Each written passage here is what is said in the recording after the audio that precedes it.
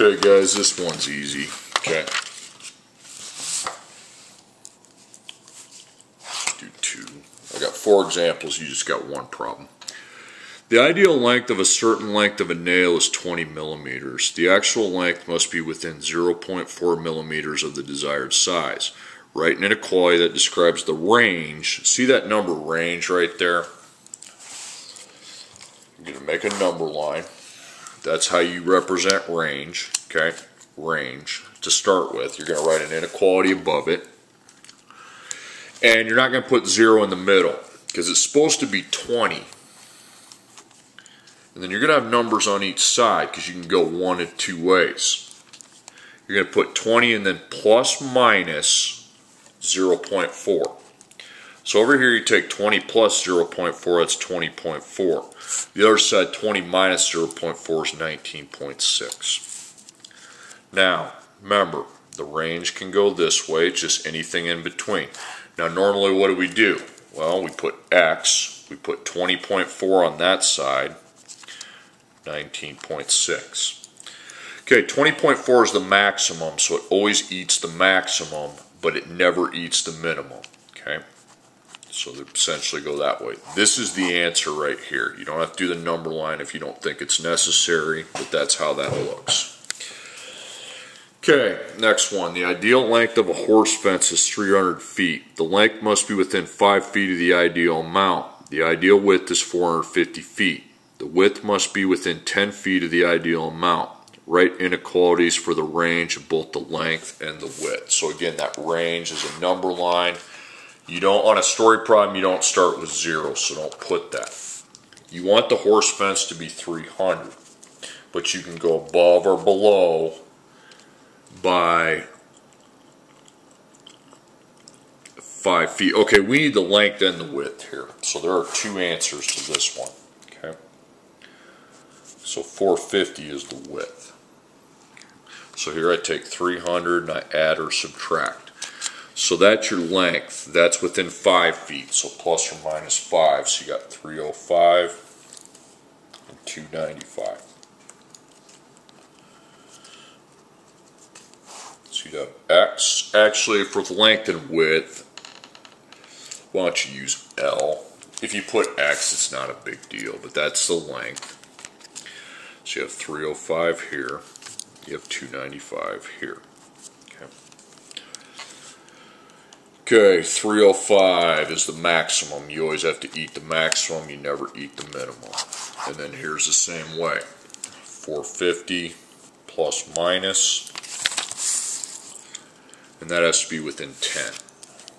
So it's going to be 460 and 440. And there's your range. Now to write the inequality, you're going to go width, 440 on this side, 460 on this side.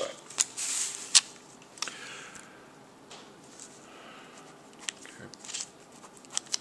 So you have two answers there. There they are. Okay.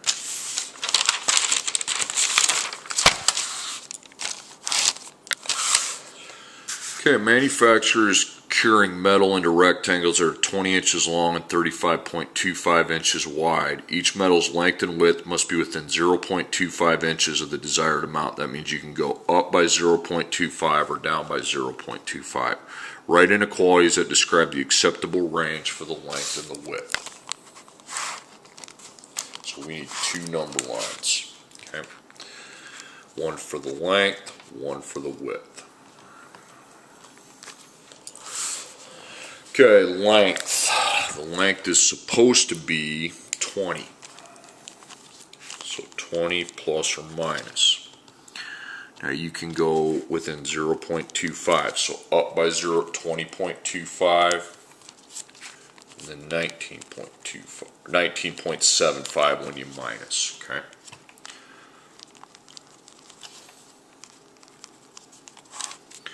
So the length, you got L 19.75 here, 20.75 here.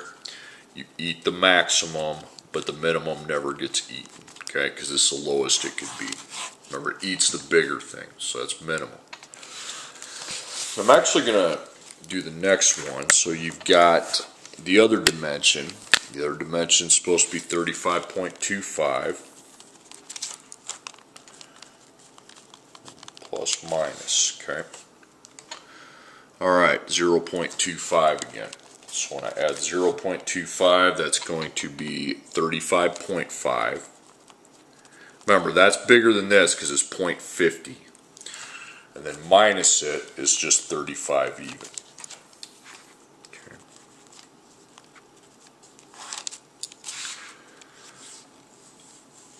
Okay. So, we put a variable, W, 35 on this side, 35.5 on the other side. Eat the maximum, don't eat the minimum. Okay, last problem. I'm actually going to show you to do this without a number line. Okay. The ideal circumference of a women's basketball is 28.75. So there's two answers when you're doing the length and width, which is what you're doing here. But I'm going to show you how to find that without having to do all the number line crap. The ideal circumference of a women's basketball is 28.75 inches. The actual circumference may vary from the ideal by at most 0.25 inches. Write an inequality that describes the range of the circumference of the basketball. Okay, pick a variable, C for circumference. Okay. Now, what's it supposed to be? It's supposed to be 28.75, but you can go above or below, okay, by 0.25. So if I add 0.25, that's 29 even. That's the maximum. Could be equal. You always put equal. When you minus, it's 28.5. That's the minimum. So that's how you write a range without the number line. If you like the number line, that's fine basically you pick a variable, you add, put it on that side, you minus, put it on the other side, and that's an inequality. Inequality means there has to be less than or greater than.